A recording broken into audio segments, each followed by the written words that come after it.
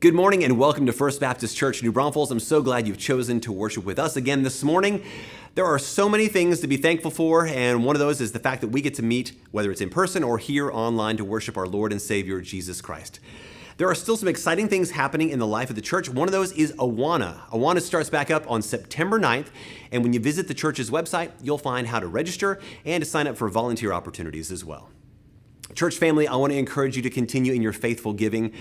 When you give, it enables the church to serve locally, in our community, and around the world. So there are three easy ways for you to do that. Text the word give to the number on the screen, visit the church's website, or mail your check in.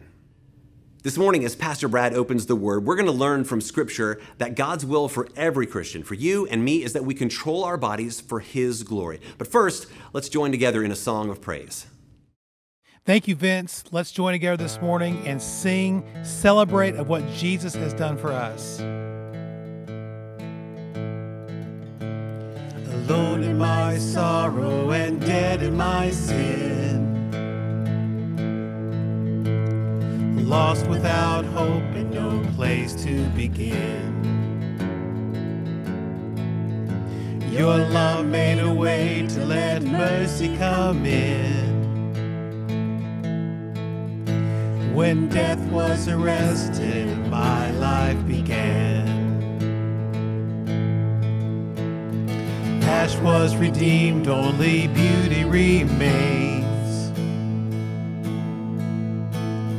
My orphan heart was given a name. My mourning grew quiet, my feet rose to dance. When death was arrested and my life began. Oh, your grace so free washes over me. You have made me new, now life begins with you. Released from my chains, I'm a prisoner no more. My shame was a ransom he faithfully bore. He canceled my debt and he called me his friend. When death was arrested and my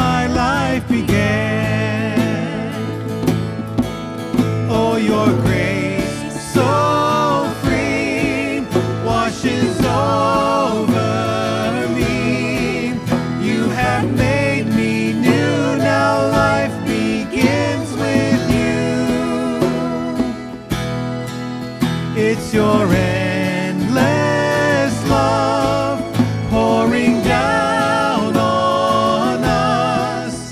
You have made us new, now life begins with you.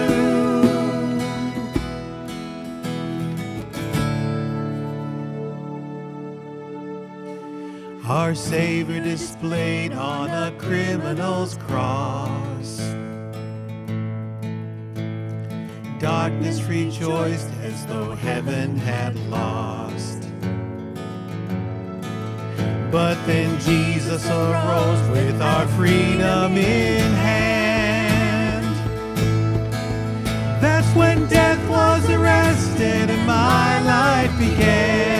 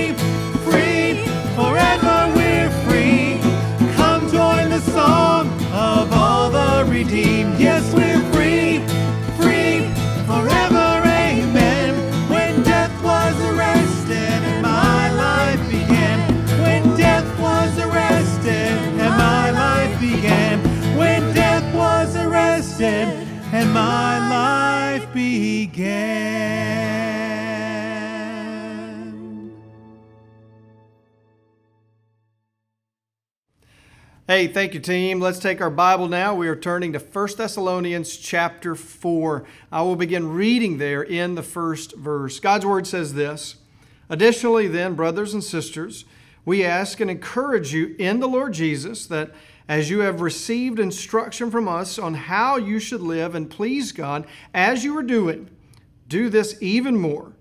For you know what commands we gave you through the Lord Jesus.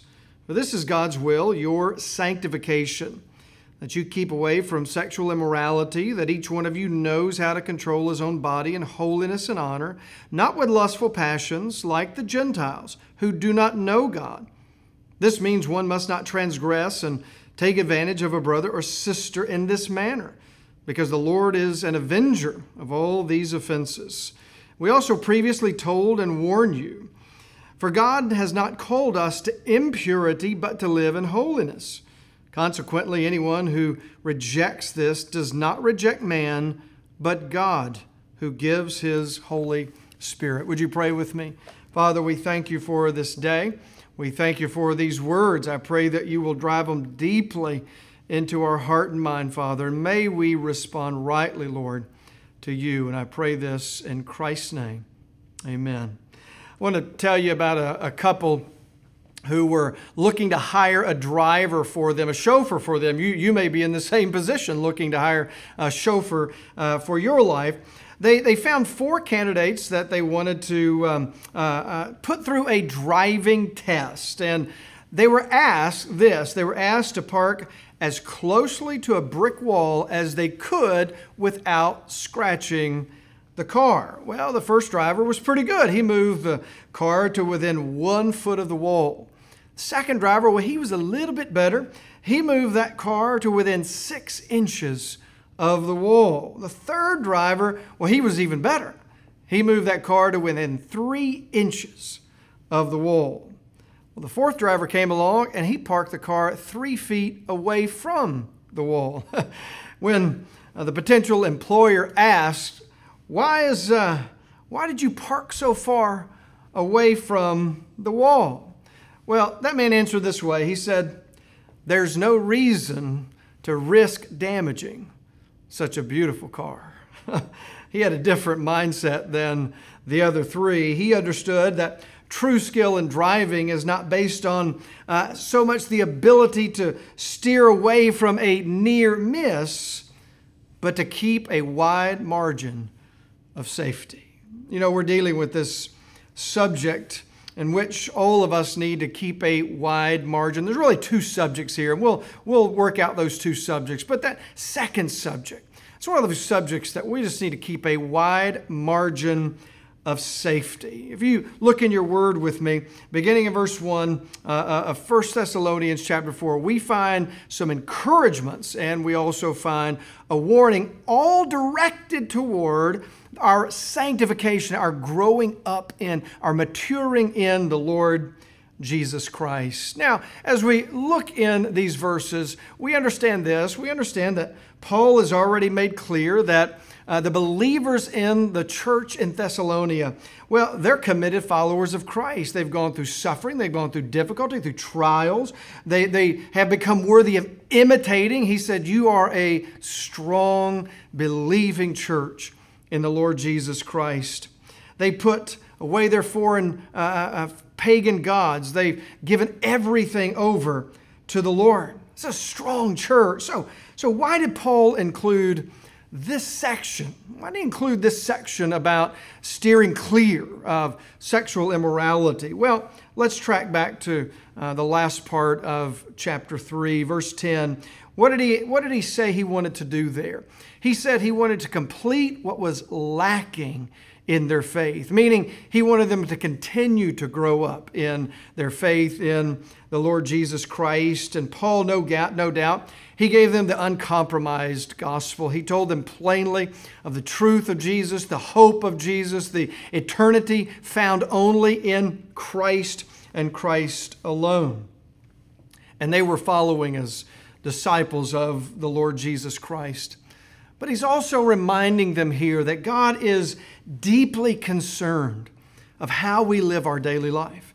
He's deeply concerned in how we walk through or live or conduct our life uh, in the days in between our salvation and our home going. Jesus came not just to, to make us children of God, and we're thankful that He did, but He also came to enable us to live as the children of God, to live as children of God in this dark and sinful world that does not know the hope and the peace that is only found in Christ. So let's let's take these next few moments just to work this text out and let the Lord Jesus through his spirit speak to us uh, in these moments. Now, important thing here.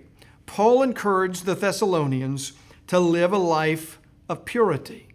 To live a life of purity. There is great freedom found in living a life of purity for Christ, even in a culture with rampant sexual immorality. And so I want to encourage you today, as we uh, allow God's word to speak, I want to encourage you to live that same way because that's what the Word of God is encouraging us to do today as well.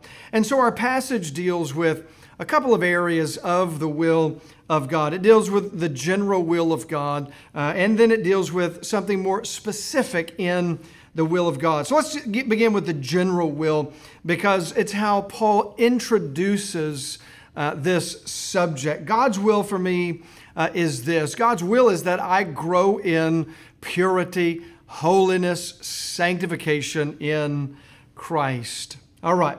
I want us to look at verses 3 and verses 7 verse 7 here as kind of bookends to this particular section. For this is God's will, your sanctification. Then down in verse 7 For God has not called us to impurity, but He has called us to live in holiness. In holiness.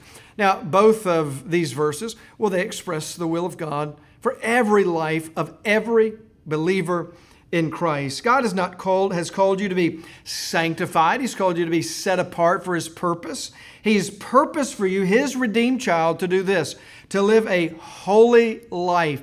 Not a perfect life because he knows that we will never be able to attain that perfection, but to live a holy life, to live a set apart life for him as we live in and through Christ. And friend, you need to take uh, uh need to take God's purpose of purity seriously as we walk through this life. Now, God spoke through Moses, and he told his people this. You're familiar with these verses. The Lord said this For I am the Lord who brought you out of the land of Egypt to be your God.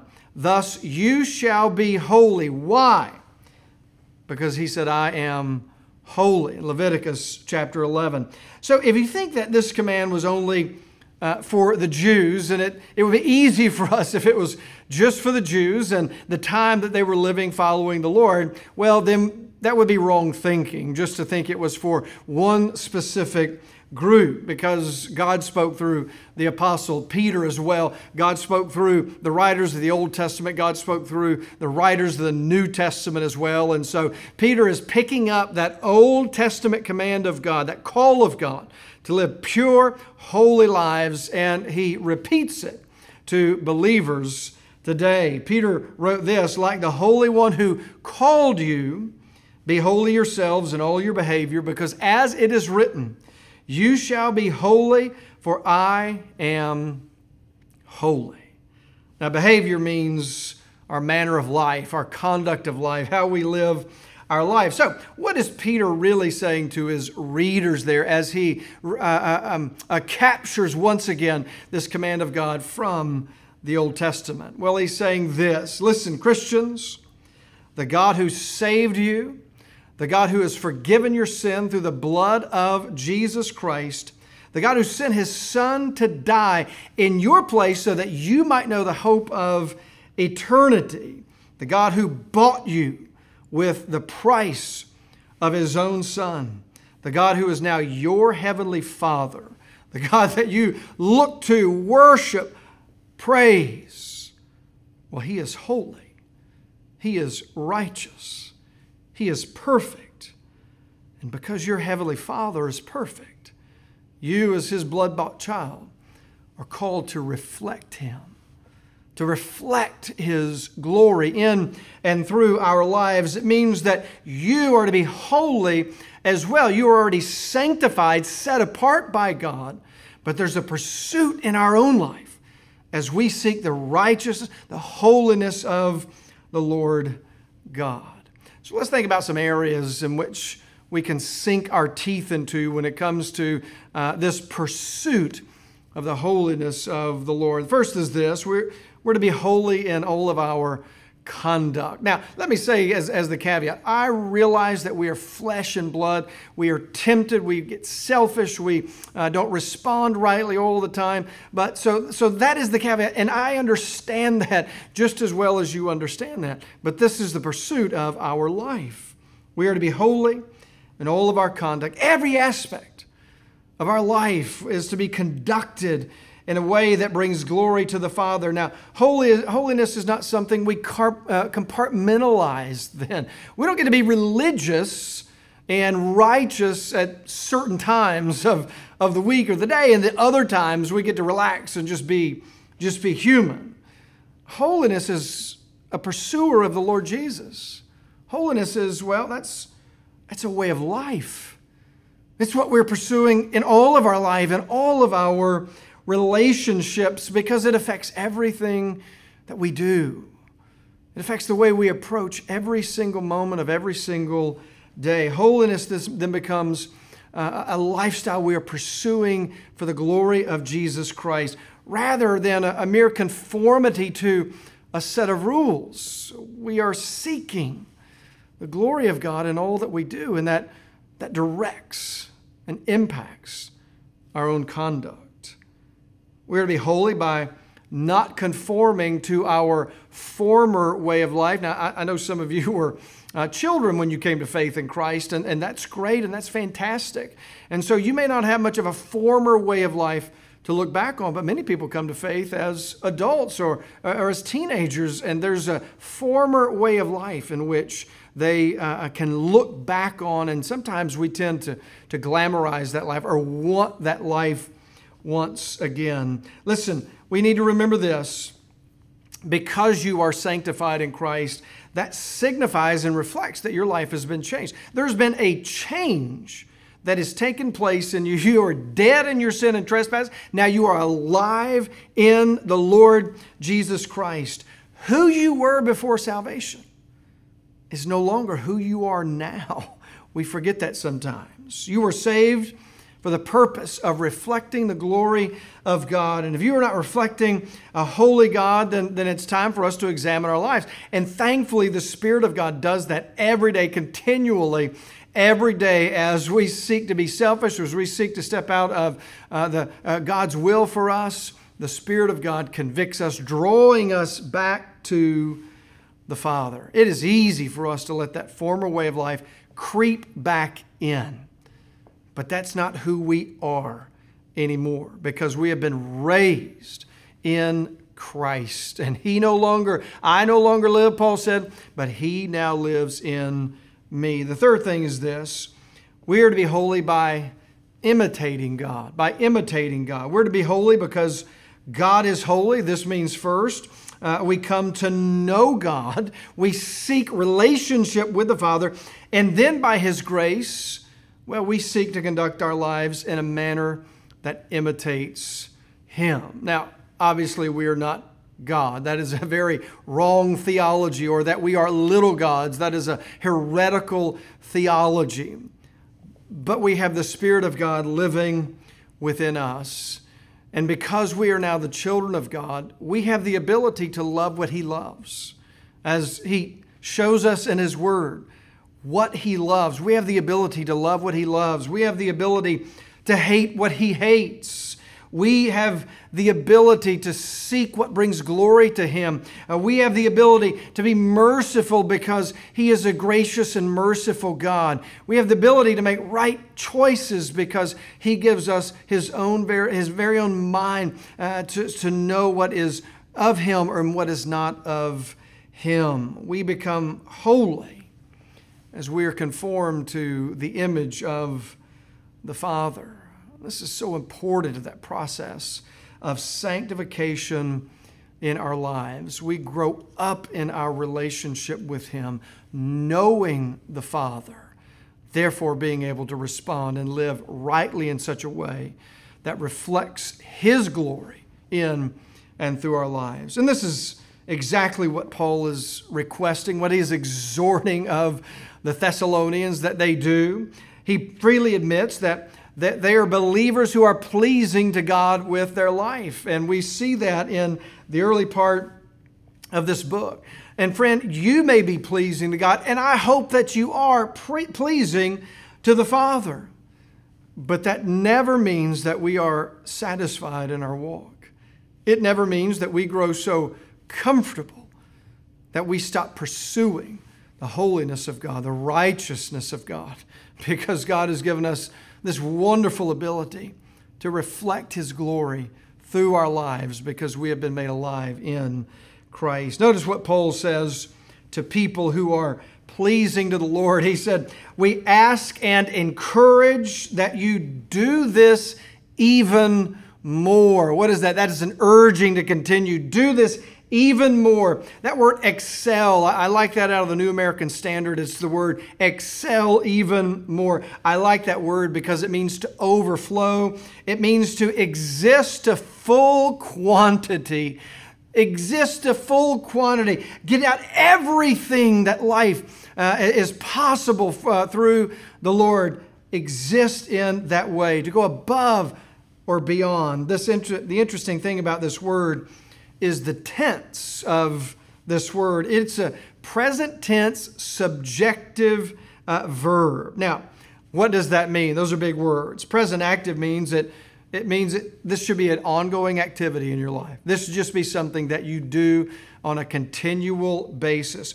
The subjunctive part of that, though, means this it means it is possible for you to grow in holiness. And so, listen, friend, it, it is God's will for your life that you grow in maturity, that you grow in holiness. It is God's will for your life that He be seen in and through living through your life. God has called you to purity, He's called you to holiness, and not just average purity, not just average holiness, but overflowing purity, overflowing holiness. And here is the good news it's possible because He's placed His Spirit within us. He's given us His Word. And so we don't just flounder around thinking, well, I can never change these habits. I, I can never uh, get out of this cycle of sin. That's not true because it is possible, because God's made it possible for us to grow up in holiness and purity. Now, listen, you, you might be satisfied with a little bit of Christianity. A lot of people are, but God is calling you to excel still more, to go far above and beyond what you believe you could. Uh, preacher, I, I don't know that I could change, someone might ask. Well, I ask, I encourage you, ask the Lord to show you how to change. And He will show you. Preacher, I, I, don't, I don't have the strength to change. I agree with you. I don't either. But the Lord's given us His Holy Spirit who can give us the strength, the motivation, the will, the desire to seek purity in our lives and to grow up in sanctification that the Lord is able to give to us. Well, preacher, I don't guess I have any excuses anymore, do I know? You don't have any excuses anymore. Neither do I. God has saved you. God has called you to be holy. Will you per- uh, commit to pursue holiness in your life this very moment. Commit to the pursuit of holiness. Now, there's a general section there that the Lord has said, I want everyone to be uh, uh, uh, sanctified and pure and pursuing holiness in their life. But Paul goes on to write uh, another section here uh, dealing with this aspect of sexual immorality. It might, it might seem odd that for one moment, Paul would speak about the general will of God, then he would dive into something very, very specific in uh, this instance. Well, uh, in the context of the Thessalonians, this makes sense. In our own context, in our culture, it should make sense to us uh, as well. Thessalonica was a Greek city. Uh, they were ruled by the Roman Empire by Jewish standards.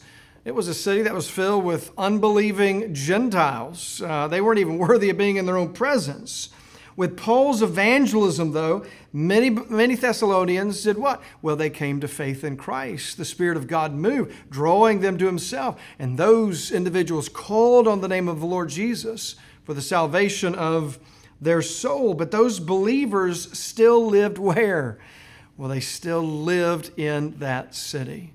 They still lived in that culture that they knew, grew up in, and more importantly, that they once participated in. Remember those old, that old way of life that I discussed earlier?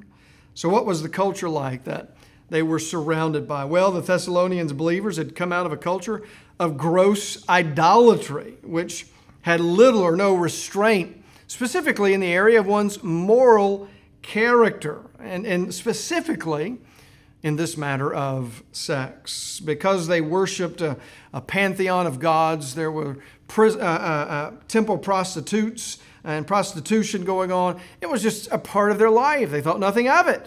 It was embedded in who they were. And so that moral climate uh, there in Thessalonica, even though being a Greek city, was still ruled by the Roman Empire, and it was just very, it was morally decadent with no uh, sense or uh, about being pure and, and holy whatsoever. One historian wrote this Immorality was a way of life. Thanks to slavery, people had leisure time. We deal with this in our own culture, uh, our leisure time. Because of leisure time, they could indulge in the latest pleasures. So, the Christian message here of living a holy life, pursuing Christ, pursuing a holy God, well, that was something very new to their culture, something that they had never heard before. It was not easy for these young believers to fight this temptation. And so Paul is addressing this as a part of their conduct, as a part of their seeking the holiness of God. So you can see why he might have wanted to return, as he wrote earlier, why he wanted to return so strongly back to them to help grow them up, to help uh, finish what was lacking in their faith. And so you and I must live with that same determination. We must live with the same determination to live a holy life in the midst of our own culture, our runaway culture. The reality is this our, our culture reflects very strongly of the first century culture when it comes to sexual immorality, when it comes to the pursuit of what satisfies the flesh. So, sexual perversity, promiscuity, uh, and promotion are those are very normal things for us. We see them in so many aspects of our culture, and, and most likely it's going to increase. And so the question then becomes how do I, as a Christian, respond? Well, we respond the way the, God, the Word of God tells us to respond. What does God's Word say? Well, God's Word says that I abstain that I pursue the holiness of God. And so the reality of sanctification is this number one, it comes from God. That sanctifying spirit comes from God. The pursuit of that holiness, driven by the Spirit of God, comes from the Lord. But there's a part of you, there's a part of this grace gift that the Lord has given to us that we play in this growing in holiness and purity. In this instance, growing in holiness requires you to abstain from sexual immorality. So the word abstain means complete abstinence. So in this case, it means staying completely away from any thought or behavior that violates the principles, violates the word of God. Now, why does Paul call the Thessalonians to abstain from sexual immorality? Well, he understands from a cultural perspective how destructive this sin is.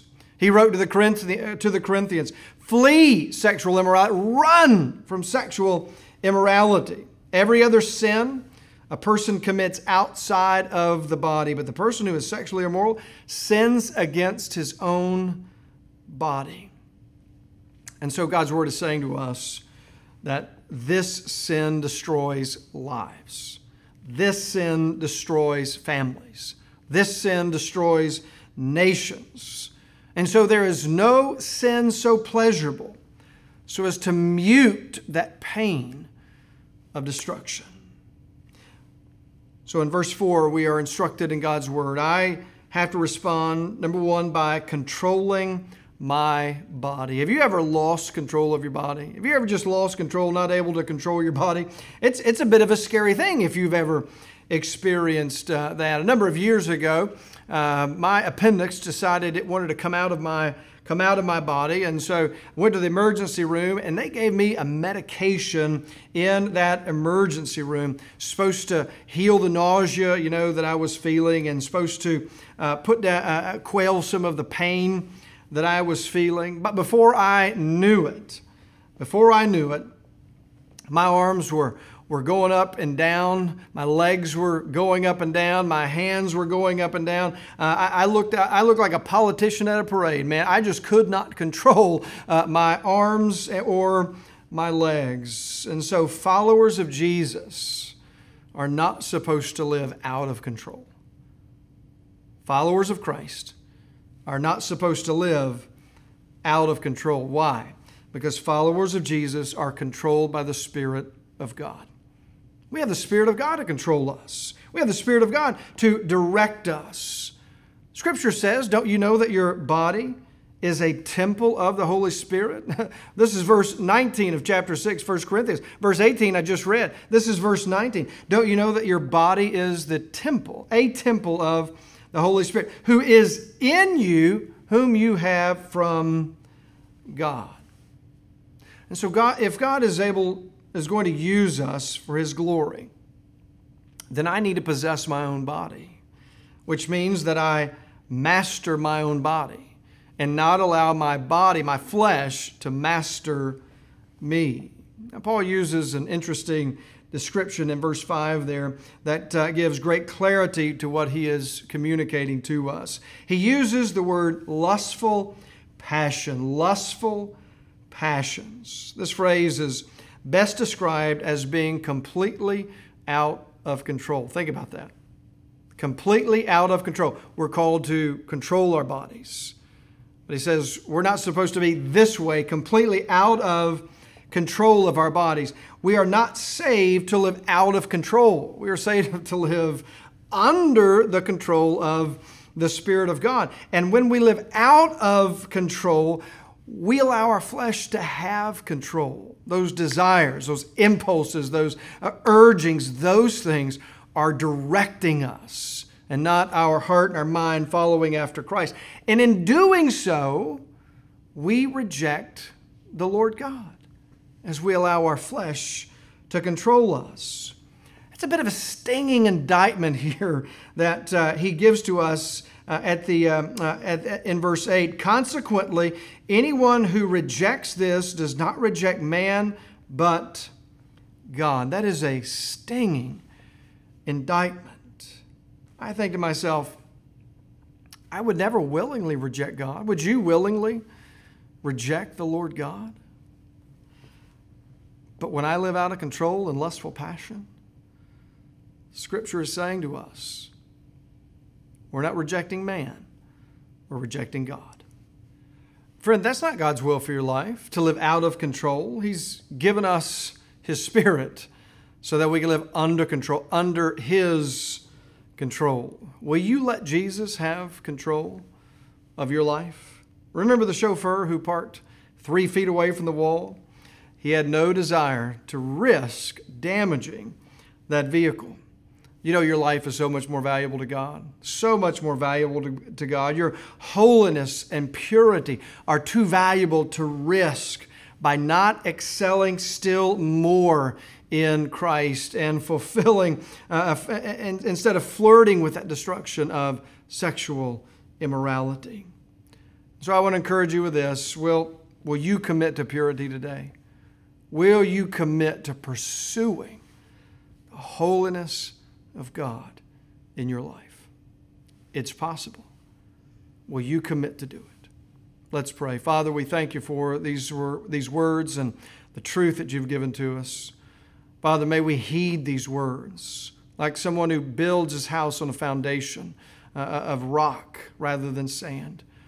Lord, may we heed these words for your glory alone. And I pray this in Jesus' name. Amen. Thank you, Pastor Brad. If you have any questions about today's message, about the church, about Jesus, there is somebody on staff right now that would love to visit with you. Just call the number below.